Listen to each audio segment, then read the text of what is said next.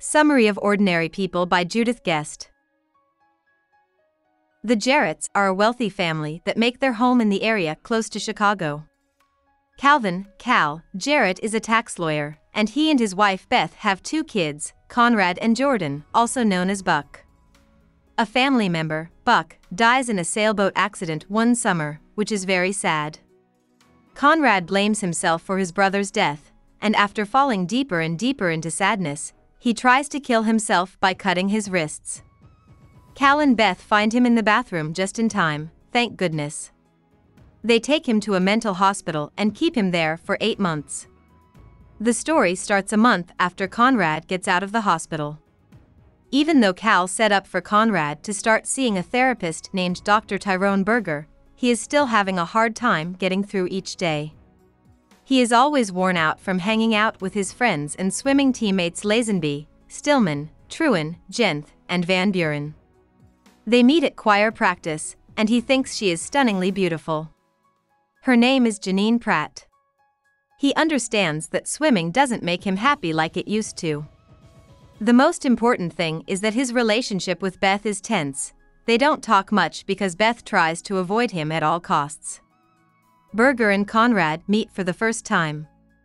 Conrad doesn't like how the therapist looks, acts, or talks to him, but they agree to meet twice a week. The lessons happen at a bad time for the Jarretts because they are having a hard time with their family situation. Beth gets mad when Cal talks about Conrad's therapy sessions at a party. Conrad should let go of his feelings, Berger tells him. At the same time, Karen, an old friend from the hospital, goes against Berger's advice. Most of Conrad's friends don't offer any help, except for Lazenby. Giving up the swim team to make time for his talks with Berger makes him feel better. When Christmas comes around, though, things start to get better for Conrad. He makes success with Berger, and things start to look up between him and Janine. Beth's bad news, to her surprise and shame, a friend tells her that Conrad quit the swim team. The news causes a big fight between Conrad, Cal, and Beth. Cal is stuck between his wife and his son, because each of them feels like the other has hurt them. Cal is even more let down when his plan to give Conrad a car as a Christmas gift fails. Things will get better in the new year. Cal goes to see Berger on his own, which makes him more aware of how he feels. Conrad starts going out with Janine seriously. As time goes on, she starts to talk about her own difficult past, which makes her one of the few people Conrad can trust. Though, things get tricky for Conrad again when he runs into his swim team friends in the school parking lot after a meet. A fight starts because Stillman says some mean things. After the fight is over, Lazenby tells Conrad how upset he is that their friendship is ending. Beth and Cal go to Dallas. A golf event is going on while Cal is there, and Beth meets up with her brother Ward and his wife Audrey. To be with his grandparents in Chicago, Conrad stays behind. One day, he reads in the newspaper that his friend Karen has killed herself. This news makes Conrad very sad, and he starts to think about the events that led to the death of his own brother.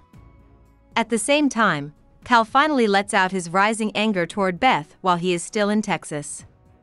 He doesn't like how cool she is with Conrad. In a fit of feeling, Conrad calls Berger to talk about his huge realization.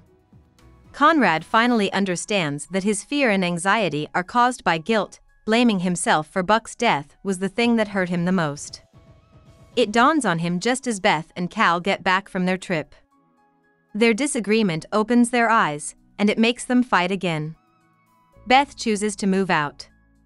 Overall, the book ends on a good note. Cal and Conrad take the first steps toward a more open relationship.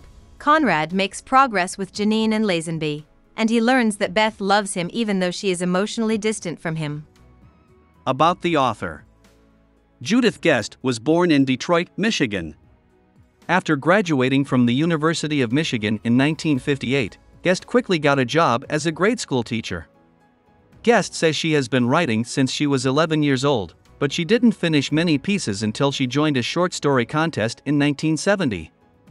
Soon after, she quit teaching to concentrate on finishing something. The result was Ordinary People, a short story that she worked on for three years and turned into her first book.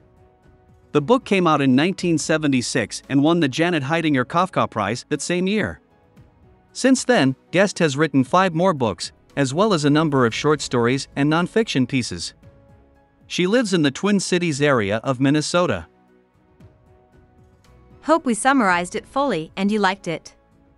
Please hit the like button and subscribe to our channel so that we are motivated to create more videos.